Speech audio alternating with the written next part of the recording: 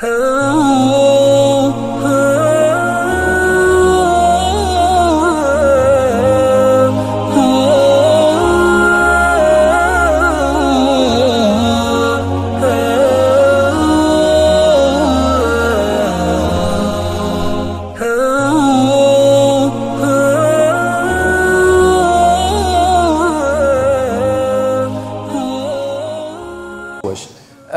a, pesquisar a vida alheia, Eh, grita aqui, grita ali, leva, eh, que- que fala mal deste, fala mal daquele, comenta isto.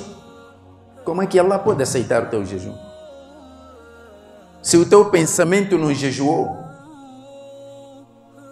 se a tua boca não jejuou, então, este é um grupo especial.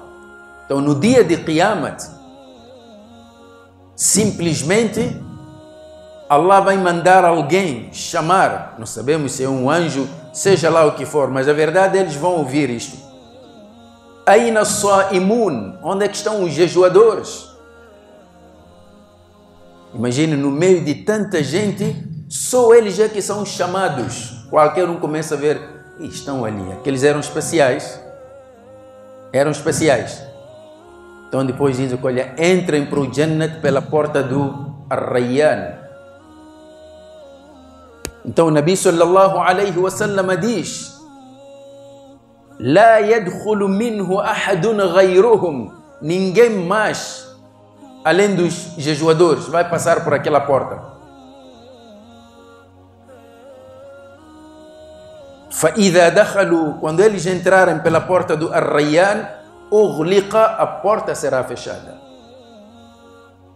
esta é a boa nova que Allah está a trazer que Allah está a nos mandar por meio deste hadith que Allah está muito satisfeito com o jejum. Se você quer agradar a Allah, principalmente no mês de Ramadã, não há melhor coisa do que observar o jejum. A partir daí, estimados irmãos, o jejum já não é pesado. Já não é pesado. Atenção, quando dissemos que o jejum para o crente não é pesado, não significa que ele não vai sentir sede ou não vai sentir fome. É ser humano. Isso é normal. Até o mais crente, com o taqwa lá no topo, no dia de muito calor, ele vai sentir sede. Como qualquer outro ser humano. Então, quando você está a sentir muita sede, e você sabe o que é isso? De repente encontras água fresca, bem gelada. Água fresca. Pois vais bebendo. Que tal a satisfação que sentes? Sente uma satisfação e um alívio. Então bebes a água até te sentires satisfeito, onde já não precisas mais da água. Não, chega, chega. A quantidade de água que eu bebi já foi suficiente. Quando atinges esse nível de satisfação em que já não precisas mais de água para beber, isso em árabe chama-se rayun. Ray significa que bebeste água e atingiste o ponto de satisfação em que já não precisas mais de água. Isso chama-se rayun foi precisamente o nome deste estado de satisfação que Allah deu àquela porta por onde vais passar, chama-se Ar-Rayyan. Agora já sabem por que, a porta chama-se Ar-Rayyan? E outra coisa, atenção, estimados irmãos, voltemos um pouco no hadith. O Nabi sallallahu alaihi wasallam disse assim: Inna fil jannati baban. No Jannati há uma porta não diz inna lil jannati baban. Normalmente uma porta não fica dentro da casa. Por exemplo, temos aqui um masjid, estamos a ver a porta. Onde é que está? A porta não está dentro do masjid, nem está fora do masjid. Está num local de separação entre o exterior e o interior. A porta está ali. Então, logo, diz-se Lil masjidi babun. A mesquita tem porta. Agora, quando você diz fil masjidi babun, na mesquita há uma porta, significa que a porta está dentro. Pelo menos é o que a língua árabe nos ensina. E o hadith não disse inna lil jannati baban, disse inna fil jannati baban. No jannat há uma porta. Quer dizer, você entra no jannat, depois apanhas a porta. É estranho. A porta é para entrar em algum sítio. Então, por que, que o Nabi sallallahu alaihi wasallam disse no Jannat existe uma porta? E os álimos explicam que só naquela porta o conforto que o jejuador encontra e os prazeres do Jannat que ele encontra só na porta é como se estivesse dentro do Jannat. Ainda não entrou mas já tem todo tipo de prazer só na porta. Até a sua visita, quando alguém te visita, não te espera na porta com comida. Não, primeiro manda-te entrar. Depois o resto vais encontrar lá mesmo na mesa. Mas o caso do Jannat é diferente. Allah, de tanto gostar dos jejuadores, manda os prazeres do Jannat esperarem pelos jejuadores precisamente na porta. Ainda não entraram. Quer dizer, até se me pedisse, até se me dissessem, olha, você não entra no Jannat, só fica aí na porta, já era suficiente.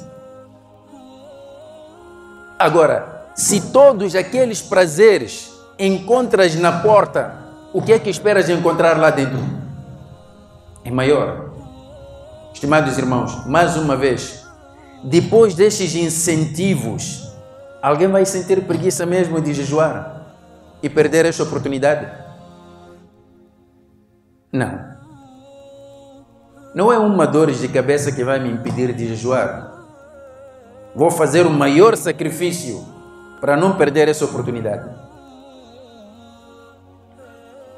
Então, ninguém mais entra depois deles entrarem. Esta é a boa nova que o hadith está a trazer para nós sobre o jejum e o valor que o jejum tem, principalmente o jejum de Ramadã. Então, quando Allah dá-nos esta oportunidade de Ramadã, porque não temos certeza se vamos alcançar o próximo Ramadã, não temos certeza se este mesmo que nós iniciamos vamos acabar, não temos a certeza se o dia de hoje que começamos com o jejum, se vamos terminar com o iftar. Então é bom aproveitar o momento. Então, quando os jejuadores entrarem pela porta de Arrayan, estimados irmãos, vocês não imaginam o nível de satisfação e alegria que eles vão ter. Só de verem toda aquela honra com que Allah lhes agraciou, não imaginam a satisfação deles. Isto concretiza aquilo que o Nabi sallallahu alaihi wasallam disse no hadith: "Lis-sa'imi farhatan". O jejuador tem dois momentos de satisfação que ele fica feliz. Farhatun yafrahuhuma farhatun 'inda fitrihi quando ele quebra o jejum, chega a hora de quebrar o jejum, hora de Maghrib, ele quebra o jejum. Ele fica feliz, mashallah, alhamdulillah, hoje consegui. Allah permitiu-me chegar até aqui. Durante o dia estava de jejum, agora posso comer, posso beber. Ele fica feliz.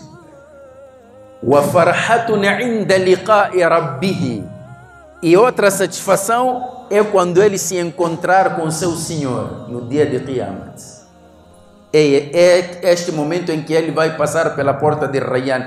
Estimados irmãos, como é que ele não vai ficar satisfeito? Primeiro, foi-lhe foi anunciado que ele é do Jannat. Já sabe que eu agora vou para o Jannat. E no meio de todos aqueles que vão para o Jannat, ele recebeu um chamamento especial. É um convidado especial de Allah.